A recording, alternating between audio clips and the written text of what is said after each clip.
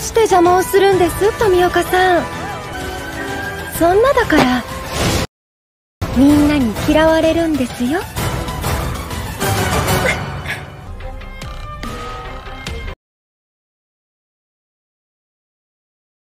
俺は俺は嫌われてない。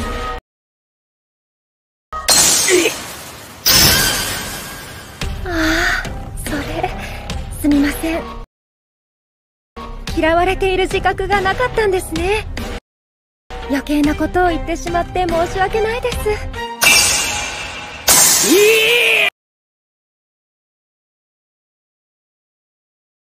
理由くらい話してください。あれは確か2年前のこと。そんなところから長々と話されても困りますよ。嫌われていると言ってしまったこと根に持ってます？最近は富岡さんと任務でご一緒することが多いですね。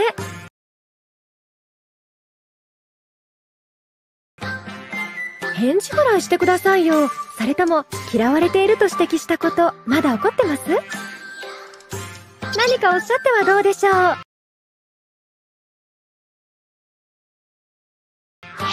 大将こそこそ噂話。